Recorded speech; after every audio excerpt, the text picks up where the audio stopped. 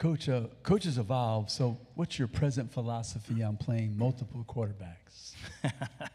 um, strong to quite strong would be the philosophy there. Um, no, we've got a lot of athleticism at the position for sure. You know, we played LaNorris Sellers a little bit last year along with Spencer. We did that in the Kentucky game uh, as well. Had a little package for LaNorris. It just so happens that this year we've got you know multiple quarterbacks and they all bring an athleticism element that maybe Spencer uh, didn't have that wasn't part of his game. So I think every Saturday you do what gives your team the best chance to be successful. But we're very fortunate that we have some quarterbacks that have athleticism and, and bring a you know running element along with the throwing element to their game. Obviously, anytime you see your dad get honored with an award, it's pretty cool. But to be honored by Nick Saban was uh, was extra special, just because the immense amount of respect my dad has for Coach Saban, but what I have for him uh, as well. You know, it was different uh, walking into SEC head coach meetings for the first time in February back in Birmingham and him not being in that room. Uh, because of what he's meant to college football and how much respect I have for him. And now he's one of you guys here at this event also. So that was a really cool night. And thanks to uh, Coach Saban and, and, Terry for, for honoring my dad. And then Robbie Ashford. Robbie's, uh, Robbie has really grown and done a great job since he came to our program in January from Auburn.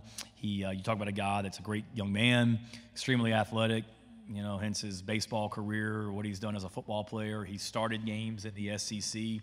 Uh, he's come in and he's helped make LaNorris Sellers better, and LaNorris has helped make Robbie better. And uh, just a, a really uh, great addition to our program, great personality, great energy, and has done a really good job helping us get better already uh, on and off the field. A year ago, I talked to you about Dawn Staley and the way that she affects recruiting, yeah. and that was prior to her going into an undefeated season. What's the best advice that you continue to get her and how she's continued to help you in your recruiting process? Best advice I give her or she's giving me? Both. Both. both I don't ways. know if I'm giving her much advice. Um, no, she's a great friend. Uh, literally just traded some texts with her a couple days ago about some stuff. Um, she, Dawn's fantastic. It's great for me to be able to just watch her coach, learn from her, go and watch her teams practice even last season, early on, I called and talked to her about some things, just not, you know, coaching is coaching, coaching is teaching, and it may be different sports, but there's a lot of similarities. So there's a lot of things that I've learned from her. Um, and she's a great friend. She's willing to do anything to help our program. You know, I mean, we had a junior day back in January where we had about 20 recruits coming on campus, and I think eight of them requested meetings with Dawn Staley. Um, and it was in the middle of her season, so we had to reach out to her like, "Would you have time to meet with eight football players?" And I think you have a she had a game the next day, and she's like, "Yeah, sure, whatever." You know, she would come to. Uh, she was involved in some of our recruiting weekends this year. She's been to my house to help with a recruit in the past, but we're also. Uh, she doesn't need my help, but she's asked me couple times over the years to help her, you know, with a recruit that might be on campus, and I'm willing to do whatever I can. So it's a great resource for me to have a, a coach like that that's a colleague, to have a boss and Ray Tanner that won national championships as a baseball coach. You know, it's a, we're all about South Carolina being great and not, you know, I've been in some part of some teams or some schools where it's very territorial. The football coach is all about the football team and the tennis coach is all about tennis, but not at our place. It's a great environment where we all support each other, and and uh, Dawn's right at the top of that. Right. So this is kind of a big picture question. You know, there's some new rules coming in about coaches and analysts and yeah. what they can do. So it's almost going to be like an un- unlimited coaching staff.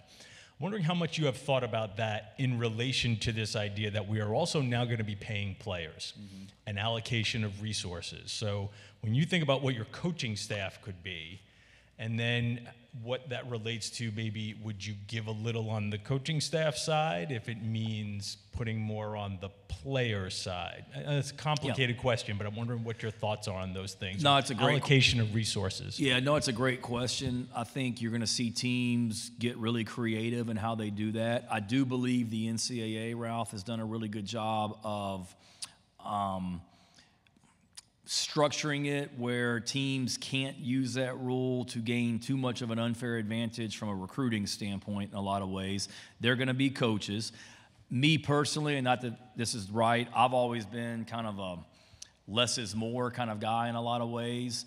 I don't necessarily want an army of coaches and staff where I've been a part of that, and it's one of those, well, I thought you were doing that. Well, I thought he was doing it. Well, I thought you were doing it. You know, I want clearly defined expectations and roles for every staff member as well. But certainly, um, yeah, if it means a great player, we'll adjust the coaching staff if we need to as well. But I don't think we're very, if you look at our staff size, Ralph, compared to other schools, I'd say we're on the low end as far as like coaches and analysts. I mean, everybody's got 10 coaches, but as far as the analysts, but I've tried to be very uh, strategic and thorough about who those analysts are and not just hire a guy to hire somebody. I mean, we have Mike Shula, longtime coach in that role.